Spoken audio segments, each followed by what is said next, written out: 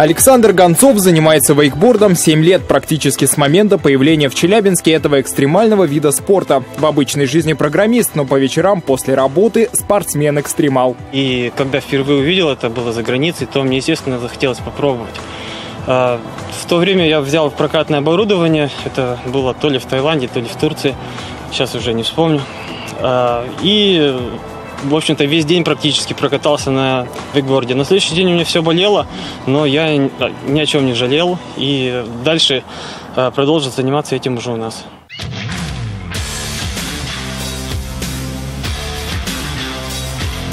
Вейкборд сочетает в себе элементы водных лыж, акробатики и серфинга. Он появился 30 лет назад в США. Скучающие серферы устали ждать волн в океане. Они прицепили доску на трос к автомобилю и стали кататься вдоль берега. Существует вейкборд-катер и вейкборд-электротяга. В первом случае спортсмен едет за катером, а во втором его тянет специальная буксировочная установка. В это время на бегущей волне вейкбордист выполняет различные трюки на трамплинах. Когда доска набрала скорость, держаться нужно примерно посередине, чем меньше скорости, тем больше следует убирать вес.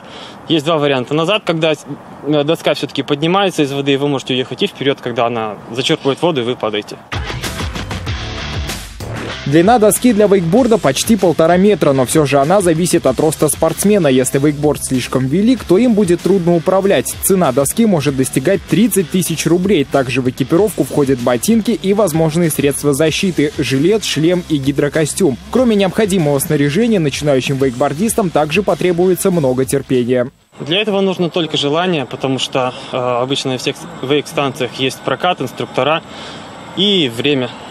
То есть э, обычно первое занятие длится порядка 10 минут, но э, за эти 10 минут э, новичок получает фундаментальные знания о том, как двигаться на воде, на доске.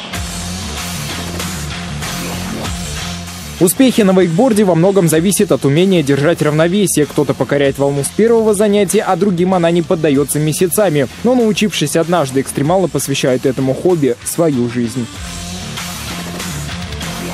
Артур Ишпулатов, Анастасия Кныш, Борис Абрамов. ОТВ.